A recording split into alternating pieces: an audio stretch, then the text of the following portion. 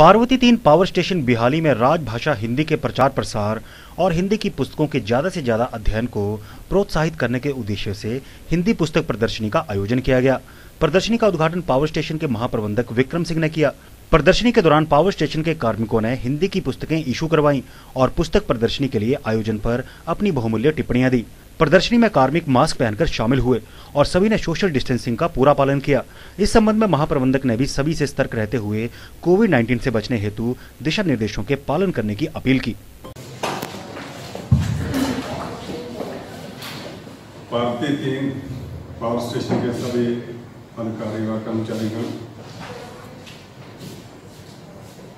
आज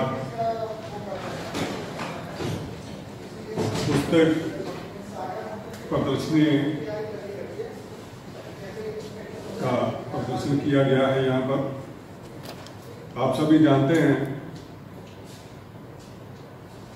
कि अभी हमारा हिंदी पखवाड़ा चला हुआ है। एक सितंबर से लेकर चौदह सितंबर तक। उसी के दौरान ये मानव संसाधन विभाग का एक प्रयास है ये प्रदर्शनी जो लगाई गई है पुस्तकों की, कि ज़्यादा से ज़्यादा लोग हिंदी के साथ जुड़े। हिंदी की पुस्तकें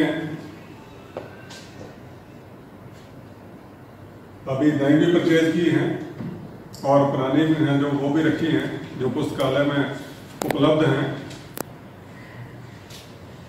इसका मकसद एक ही है कि हमारा पुस्तकों के साथ लगा। आज के जमाने में हम लोग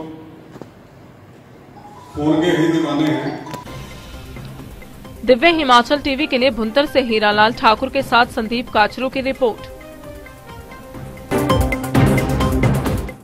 सोनी ज्वेलर्स नियर चौक जिला मंडी। सोना और चांदी की खरीदारी के लिए विभिन्न प्रकार के निवेश या इन्वेस्टमेंट प्लान उपलब्ध। तो आइए सोनी ज्वेलर्स नेर चौक जहाँ पर अलग अलग तरह के नवीनतम और आकर्षक गहने उपलब्ध है। सोना, चांदी और हीरे जवाहरात में आज ही निवेश करें और अपना भविष्य सुरक्षित करें। सोनी ज्वेलर्स नेर चौक जिला मंडी, आज ही संपर्क करें।